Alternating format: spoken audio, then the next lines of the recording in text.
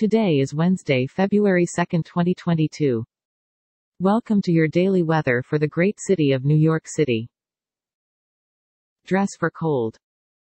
The temperature today should reach up to 36 degrees Fahrenheit and down to 30 degrees Fahrenheit. Bring plenty of water out today, because humidity is at 97%. You can expect no rain and no snow today.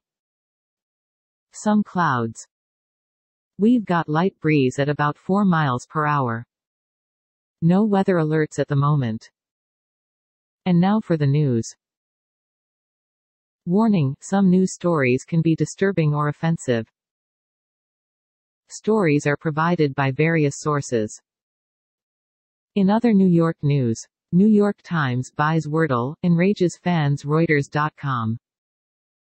Posted The New York Times is buying viral word game Wordle for what is described as a low seven-figure sum, and fans are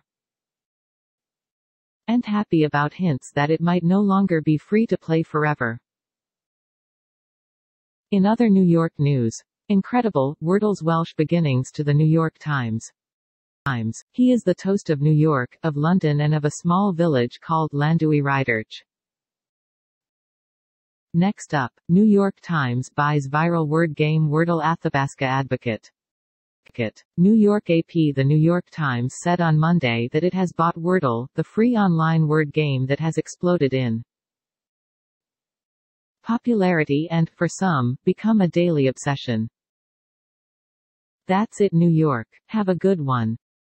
To help support improvement of our show, please click subscribe. See description for This content contains information from OpenWeather TM API, which is made available here under the Open Database License ODBL.